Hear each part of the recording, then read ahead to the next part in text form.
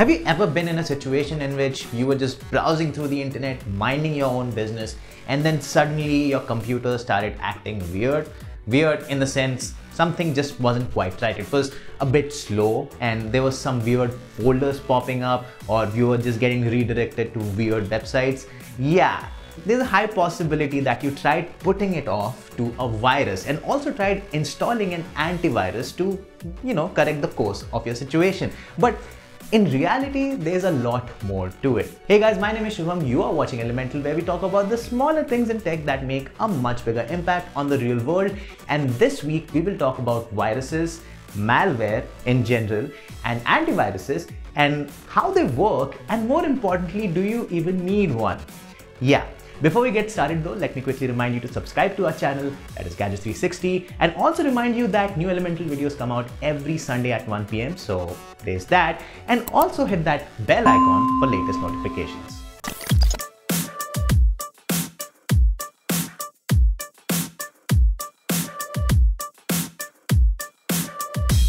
Just like in science, where we learn about disease causing microbes or pathogens first before learning about the actual medicine, it's important to learn about these viruses, malware and spyware and all of that before we get to, you know, how we treat them, that is using antiviruses. Now, if you are a person who is just here to understand how antiviruses work, you can just directly go to this timestamp, but I don't recommend you do that. But anyway, let's start with the topic. Malware is actually an umbrella term all right that is uh, encompassing all kinds of you know malicious software they can be viruses they can be spyware they can be worms they can be ransomware a lot of things come under the broader term that is malware now let's start with computer viruses. Computer viruses are designed to spread from host to host and have the ability to replicate themselves. And so they resemble an actual virus in a lot of ways in doing so. But instead of acting as a physical being, a virus exists as a code or a program.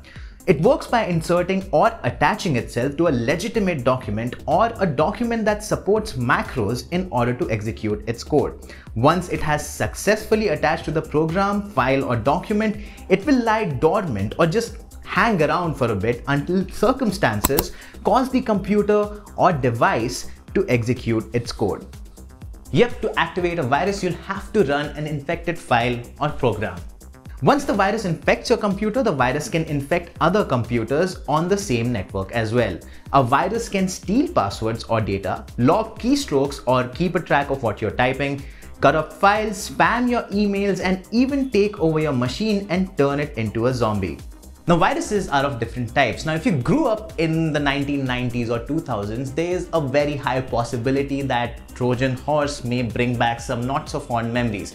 Now the name comes from a Greek story, a Greek mythological story which I cannot really talk about much right now because it's very long. But if you want to check it out, do go down in the comments because there's a link waiting for you over there. It's a very nice story. So basically, uh, Trojan horse viruses are named so because they imitate the mythical creature of Trojan horse in a lot of ways. It pretends to be harmless in order to trick people into downloading it. They may look like an MP3 or a legitimate piece of software and they seem to just sit around doing nothing, going undetected. But then they can create backdoors to hackers to access your system and keep an eye on your online payments. But unlike other viruses, they don't self-replicate. Apart from Trojan horses, you also have boot sector viruses that can take control when you start or boot your computer. They are mostly spread through USB drives. You also have web scripting viruses that exploit the code of web browsers and web pages. If you access an infected web page, you can expect the virus to be downloaded on your PC. Then you have browser hijackers that hijack certain web browser functions and you may be automatically directed to an unintended website. You also have polymorphic viruses. Poly means many, morphic or morphos means forms. So these viruses change their code every time an infected file is executed. They do so to avoid and evade antivirus programs. Finally, you have macroviruses that are spread through Excel sheets or Word documents or basically any software that uses macros. These spread when you open an infected document, often through email attachments. While those were just viruses, there are also other forms of malware. Worms are standalone programs that can self-replicate and spread over a network. Unlike a virus, a worm spreads by exploiting a vulnerability in the infected system. But the biggest difference is worms can replicate without a host system and they do not require you to trigger them. They spread in about the same way as viruses, but additionally they can be passed on via FTP servers and public networks. Then there's ransomware that cuts off access to your computer until you pay a ransom. WannaCry was a ransomware that made headlines a few years ago, but it was also a worm because of its mode of spread. Further, you have adware that pushes unwanted advertisements at users and spyware that secretly collects information about the user. Then you have the dumbest of all malware, scareware. These come in the form of emails in which the sender kind of threatens you or uh, tells you that they have recorded you using your PC or your smartphone's camera in a compromised position and they would not hesitate twice before putting that video on some porn site. Yeah, and then in return, they want you to send them money in the form of cryptocurrency and they nicely add a link on the bottom of the email as well so that you can fall for it and do that. It's a very annoying thing and it's very scary at first, but it does happen more often than not. So now that you have understood all about viruses, malware, worms, spyware, adware, blah, blah, blah, blah, blah, it's very easy for you to understand what antiviruses, anti-malware and anti-spyware do. Now, just in case you haven't watched this video all this while, antiviruses deal with viruses, anti-spyware deals with spyware, and anti-malware is a much more holistic approach of removing junk from your PC or smartphone, depending on what you use. Now, before we take a deeper dive into all of these, I want you guys to go down in the comments and tell me what kind of antivirus, anti-malware or anti-spyware you're using at the moment now. Okay, now it's time to see how these guys work. They normally work by four processes. The first one is called definition. There is a large database of malware and viruses out there and this database is constantly being updated to keep a track of the newest malware. Definition is the process of comparing files on your system to the database. The bad files that match your database are defined as malware or virus. This is a good way but it requires the system to be always up to date and that's why they slow down your system. Now some malware or viruses are not defined, but the anti-malware or antivirus can still identify suspicious behavior of a particular file. It doesn't require checking with the database, but it only requires keeping an eye on a particular file's behavior. This process is called heuristics and this can raise false alarms, but it's always better to be safe than sorry.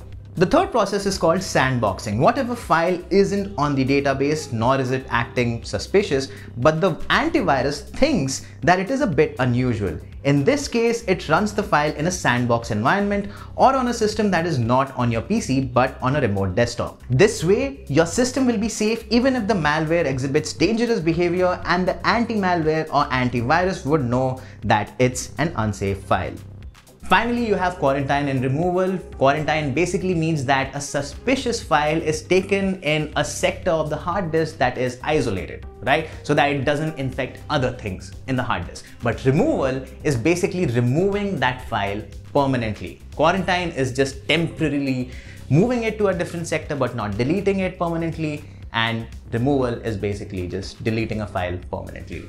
Now, before we move on to the conclusion, I also want to talk about something else and that is firewall, which is very crucial to understanding internet security. Firewalls carefully analyze incoming traffic based on pre-established rules and filter traffic coming from unsecured or suspicious sources to prevent attacks. They do so by using IP addresses and ports. Think of IP addresses as houses and port numbers as rooms within the house. Only the trusted source traffic is allowed to enter the house and then it's further filtered so that it's only allowed to access certain rooms. Hence the term firewall. Now comes the million dollar question. Do you need a standalone antivirus? Short answer, yes. Long answer, it depends on you, really. Now Windows comes pre-installed with Windows Defender which does a pretty good job at keeping viruses, malware and worms at bay. But provided that you keep it updated time to time, right? And also if you want to install some sort of additional standalone antivirus, anti-malware, anti-spyware software on your desktop or PC, basically whatever it is, uh, you can do so by comparing them. There are a lot of options out there. You have Malwarebytes, you have Kaspersky, Kaspersky Internet Security, you have um, Avast, all of these guys, Norton, you can just go online and make a comparison. And since you have all the information that you need to compare these guys, the stuff that's written out there is no longer marketing mumbo jumbo. It's something that makes sense to you. And also, if you're using an Android smartphone, there are a lot of over the air security patches that keep coming on your smartphone. So if you keep your smartphone up to date, mostly you wouldn't require a separate standalone app. If you want one, it's completely fine, but then it's up to you to decide if your smartphone has the resources, the processing power, the memory to run these apps. And having said that, it brings us to the close of this very interesting episode of Elemental. I really hope you enjoyed it. If you did, do come down in the comments and let me know everything about it. Do share it with your friends as well. Remember that new Elemental videos come out every Sunday at 1 p.m. So don't forget to subscribe to our channel. And for all things tech, log on to gadgets360.com.